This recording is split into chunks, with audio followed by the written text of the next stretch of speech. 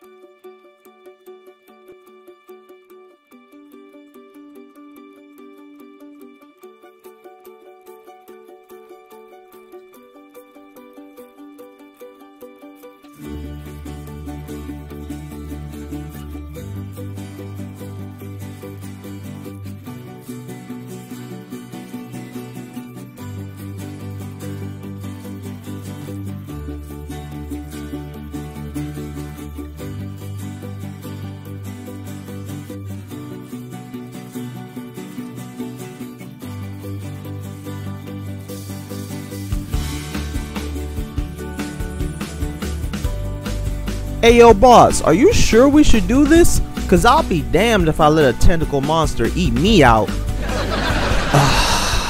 Did you already forget?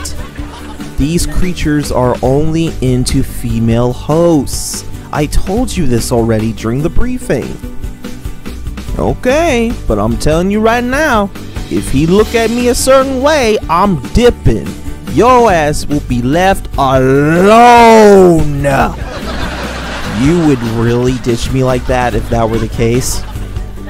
Hell yeah! What you talking about? Just because you're suffering don't mean I gotta suffer. You got me twisted, twisted.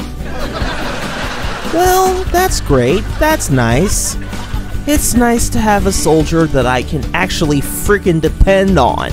Thanks for nothing, Alpha 6. Hey, Bucko, don't get mad at me just cause I'm trying to protect my safety okay? I got a wife and two kids at home. I am not playing with that. Besides, if I wanted my booty tore up by a monster, I would be going robbing banks and ending up straight to jail. All I gotta do is drop the soap and it's done.